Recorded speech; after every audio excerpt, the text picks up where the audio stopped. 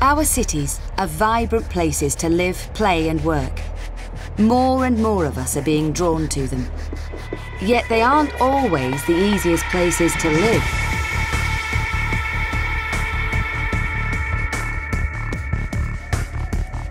Constant traffic jams, rising air pollution, strained health, water and energy services. Urban growth has brought more complexity and stress and cost when services aren't joined up and running well.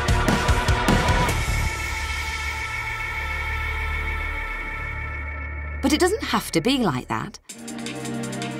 Innovate UK challenged urban areas to compete for £24 million to show how a future UK city could operate.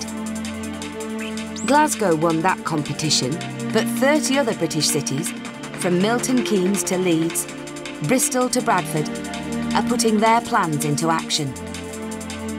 Together, they have attracted more than £100 million in private investment to future cities projects.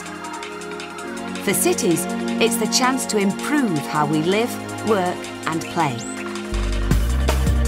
Digital technology and the Internet of Things can join up services, provide data to government, business and individuals street lamps that light your way as you approach, that gather information on footfall, pollution and traffic and feed it back to city planners and businesses. Your car being guided to the next available parking space. Real-time weather data adjusting the temperature of your office so it's always comfortable.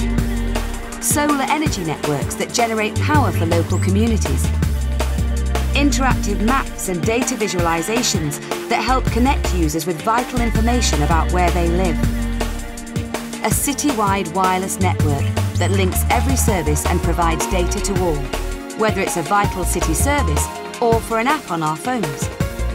Smart technology incorporated into everyday devices, helping local authorities to deliver efficient services.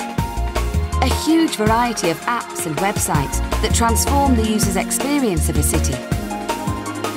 In these ways, and many others, city life is going to be transformed. In the future, our cities will be better places to live, work and play. Easier to work in. More efficient to run.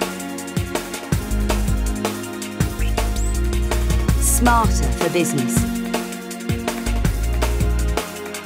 And more fun.